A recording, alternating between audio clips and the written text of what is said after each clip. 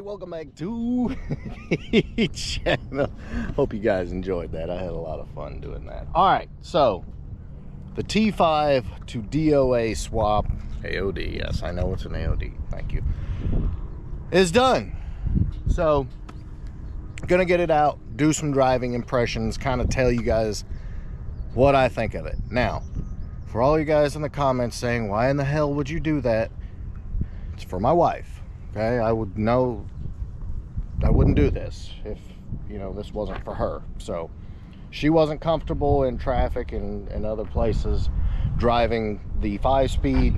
So we put an auto in it in hopes that she drives it, um, which she has already, which is a good thing. But um, let's get the car out and uh, kind of give you my driving impressions, what I think.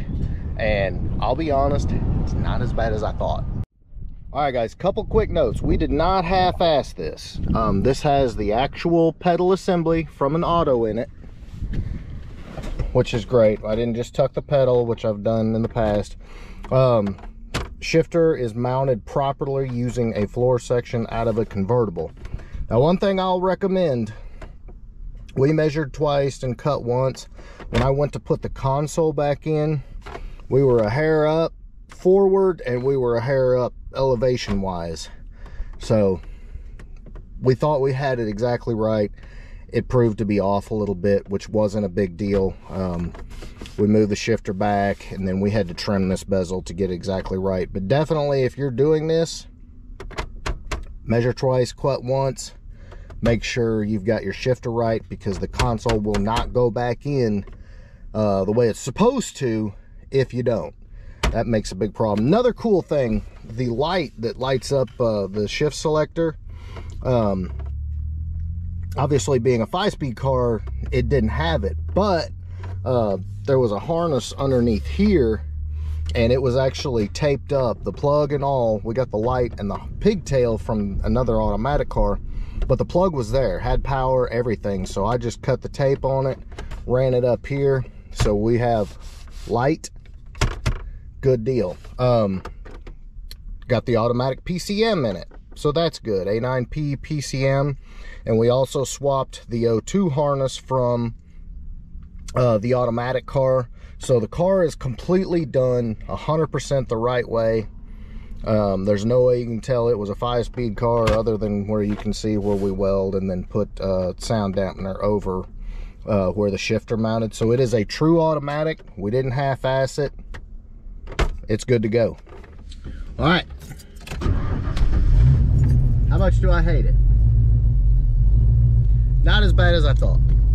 Now, this car does have 373s already. Um, it does have the GT40 heads. I mean, it's it's not stock, which is a good thing. So it doesn't suck near as bad as I thought. Let me just pull out here and just give you a little little hit, see what it does.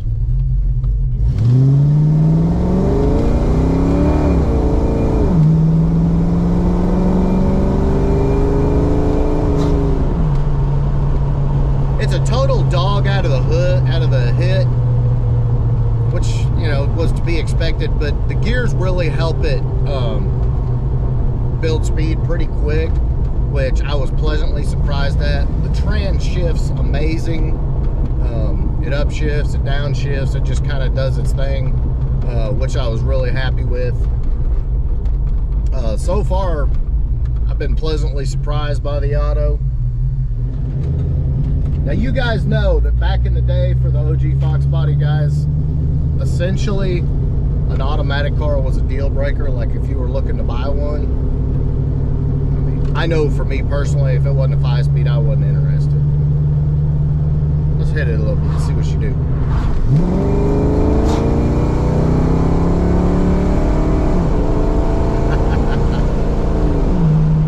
the gears make all the difference, guys. They really do.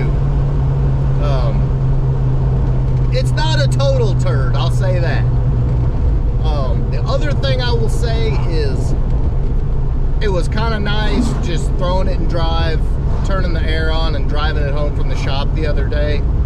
Um, I don't know. It, it was all right. I'll say that. And I had very low expectations when we put this thing in here, but overall, it's not horrible. Just cruising around, like I said, it's nice. I mean, the it, trans is really smooth. It doesn't do any funky shifting or anything. Um, wife got it out the other night and she was really excited. I was just like, eh, whatever. Again, this not something I would have done. Ugh. But now that it's done, I don't hate it like I thought I would hate it. All right, so this is my first real time out in the car since we did the swap. Uh, let's see if it'll actually just stab in it. Will it spin the tires from a dig?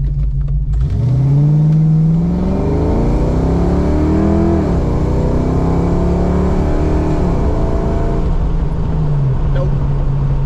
It's so lazy out of the hole. Oh my God. But again, the gears help it.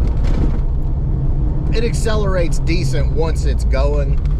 Um, if it had more gear, if it had a converter in it, um, maybe it'd be a little better, but it, it's it's a total slug out of the hole, which most AOD Foxes are. So I will say, it's really odd, really odd having the automatic shifter in the car. It, I, I still get in the car and my foot goes for the clutch pedal and it's not there, but, um, and it, yeah, it needs a bath bad. It's freaking filthy. It got rained on the way home, but I mean, overall, um, if it had a built trans with a shift kit, uh, a converter, it would probably be a lot more fun. But I will say, um, compared to what I was thinking, it's not as bad as I thought. So, and also, the wife will drive it now, and uh, it'll do more than just collect dust.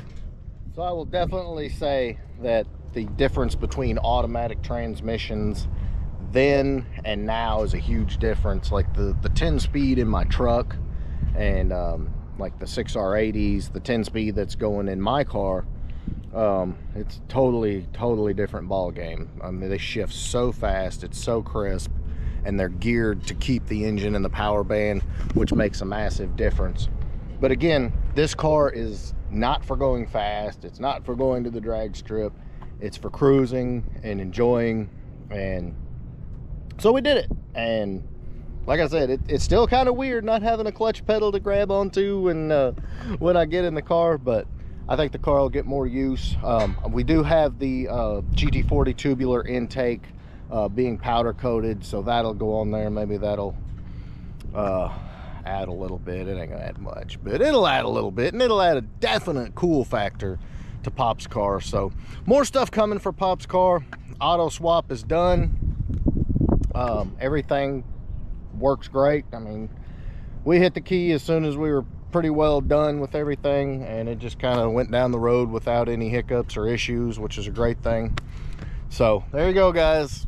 Pop's car is an auto. Still not sure how I feel about it, but I definitely feel better than I did going in. So guys, I hope you enjoyed this video. If you did, big thumbs up. Make sure you smash that subscribe button. We'll catch you on the next one.